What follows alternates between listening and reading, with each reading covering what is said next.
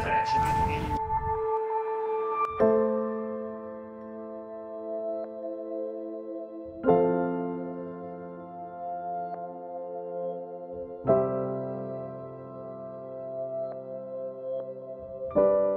When we think about the space station, we know that it's anchored at 400 kilometers around Earth. And we think that what we're doing is connected to science, space, and technology, but for what?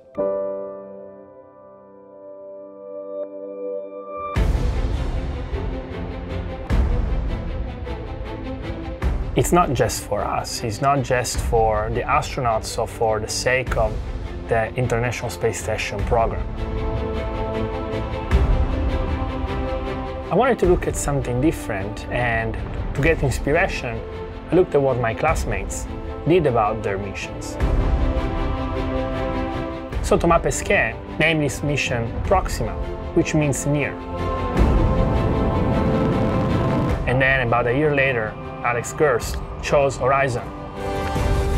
And I saw a path.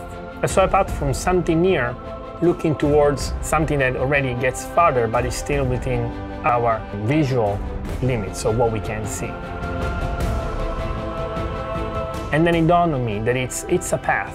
What we do on the space station is not just for the astronauts, it's not just for the ISS program, it's for everybody. It's for Earth, it's for humanity, and it's the only path for us to learn what we need in terms of science and technology to go beyond.